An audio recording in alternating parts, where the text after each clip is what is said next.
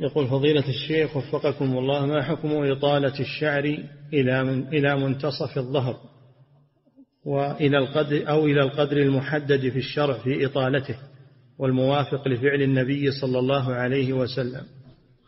إطالة الشعر هذه من الأمور العادية والمباحة بشرط أن لا يجعلها على تشبه بالكفار. يعمل برأسه مثل ما يعمل الكفار. أما إطالته نعم إطالته إلى إلى الكتفين كما كان الرسول صلى الله عليه وسلم أو زيادة على الكتفين ما في مانع. نعم.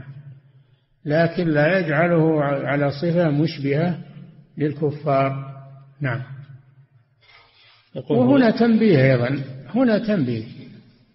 إذا صار إطالة الشعر محل شهرة عند الناس وسوء ظن لأن اللي صاروا يطيلون الشعر الآن كما تعلمون. فربما يتهم يا أخي لا لا تجر على نفسك تهمة. الحمد لله خليك مثل الناس. نعم.